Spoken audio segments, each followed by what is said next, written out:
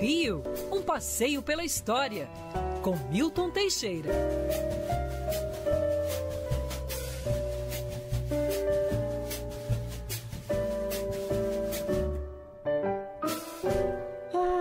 Ai, a nossa sexta-feira com o melhor piano do mundo, com o melhor professor de história do mundo. Bom dia, professor Milton Bom Teixeira. dia, gatinha. Gostei do professor de História do Mundo, mas tá ótimo. Tá bom?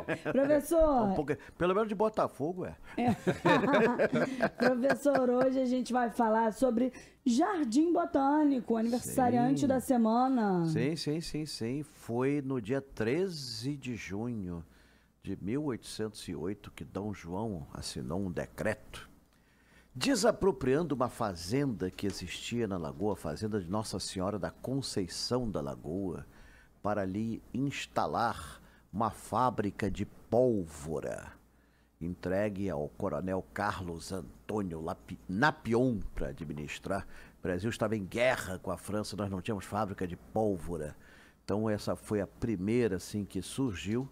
E nos terrenos adjacentes, o ministro da Guerra e Negócios de Ultramar, Dom Rodrigo de Souza Coutinho, conde de Linhares, sugeriu criar um jardim de aclimação para aclimatar espécimes vegetais estrangeiras para a agricultura do Brasil. E logo depois chegou uma carga de sementes que um grupo de portugueses roubou de um jardim botânico francês das Ilhas Maurício. Portanto, começou já com um saque. E, inclusive, nessas sementes vieram da famosa palma, palmeira imperial, palma mater, que depois Dom João plantou em junho de 1809. Mas o Jardim Botânico teve trancos e barrancos. A fábrica de pólvora explodiu em 1825, provavelmente num teste de qualidade do produto, acabou indo para Magé. E o próprio Dom João inicialmente pensou em implementar chá no Rio de Janeiro, mandou vir sementes de chá e mandou vir 300 chineses para plantar o chá. Só que o pessoal veio das cadeias de Macau, ninguém queria plantar nada, eles pegavam as sementes e compravam ópio e ficavam fumando no alto da Boa Vista, onde era o local deles. Os portugueses não entendiam por que, eles ficavam sentados o dia inteiro olhando a paisagem, pensavam que ficava admirando a beleza do lugar. Na verdade, estava todo mundo doidão. Daí o nome Vista Chinesa. Foi a primeira boca de fumo do Rio de Janeiro. E ainda é. Boca de ópio, professor. É, de óbvio. É, ué, não precisa muito. Em 1990, nós fizemos escavações arqueológicas. É, a Universidade do Vale do Sapucaí, eu integrava a equipe na época.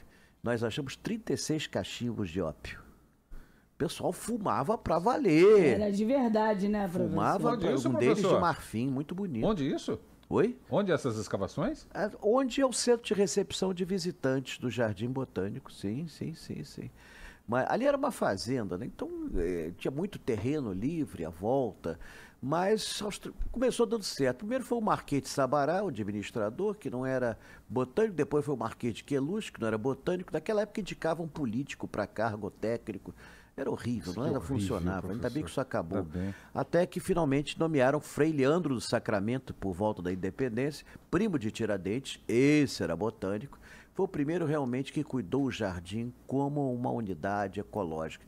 Hoje ele é tombado, ele é patrimônio cultural e ele é, foi declarado em 1992 reserva da biosfera. O Jardim Botânico possui uma visitação eh, paga, mas muito bem feita, inclusive com carros elétricos. E é interessante, eles tiveram um administrador que no final do século passado recolheu os monumentos abandonados do Rio de Janeiro todos e levou para o Jardim Botânico. Então você encontra lá coisas que foram tiradas das ruas do Rio de Janeiro, que estavam esquecidas, como os antigos chafarizes. O chafariz que está na Leia Barbosa Rodrigues, que é aquela das Palmeiras, é a nossa coluna hipóstola, né? a nossa, nosso templo egípcio. A Leia Barbosa Rodrigues tem aquele chafariz, estava no Largo da Lapa, ninguém no Largo da Lapa ver chafariz, então ele acabou parando lá, que foi melhor. Tem estátuas que foram recuperadas, monumentos. O jardim é muito bonito. Muito bonito mesmo. Recentemente restauraram o solar da Imperatriz, que era sede da Fazenda dos Macacos, que está atrás. Também foi recuperado um aqueduto do século XIX, que conduzia água para o jardim, o aqueduto da Levada. Então está lá. É uma miniatura dos Arcos da Lava, é pequenininho. É pequenininho, uma gracinha. E mais de 5 mil espécimes podem ser encontradas ali, nativas ou não. O Jardim Botânico, além de. Ele ainda é um importante instituto de pesquisas botânicas e ele, mas ele serve principalmente hoje de pulmão para a Zona Sul. Né? As pessoas vão lá para se divertir, para entrar em contato com a natureza, especialmente nos fins de semana. Então, e olha que houve, na época da ditadura, um general que queria construir ali dentro um conjunto habitacional para 20 mil pessoas. Mas, graças a Deus, é, a ideia foi escanteada. Na época de uma censura incrível, até os jornais resolveram é, criticar isso aí, porque era algo tão absurdo. Mas, felizmente, isso é coisa do passado e passado já, já enterrado. Só eu que desenterro essas minúcias aqui para contar a vocês. Professor, então vamos falar de futuro. Passeio. passeio professor. Bom, futuro próximo, né? Amanhã já uh! tem o nosso passeio Boa. do Morro da Conceição às 9 horas. Todo mundo na igreja de Santa Rita de Cássia, no Largo de Santa Rita, entre a Avenida Marechal Floriano.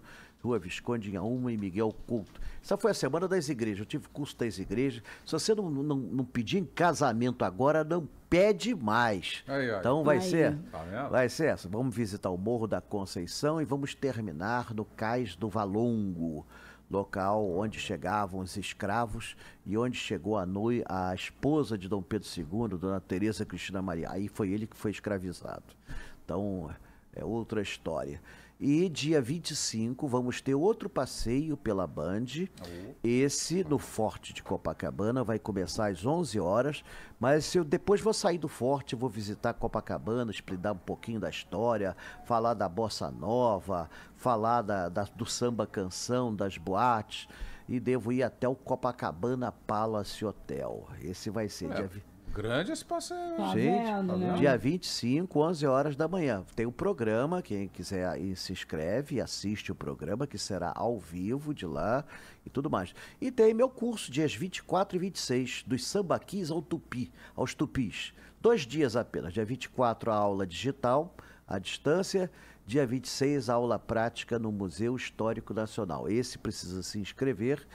Liga para Vilma. Vilma, minha secretária e diretora financeira. 988 60 04 80. Uh, repita. 988 60 04 80. Aliás, ela está agora lá em casa marcando esse curso assim e fechando com os lugares.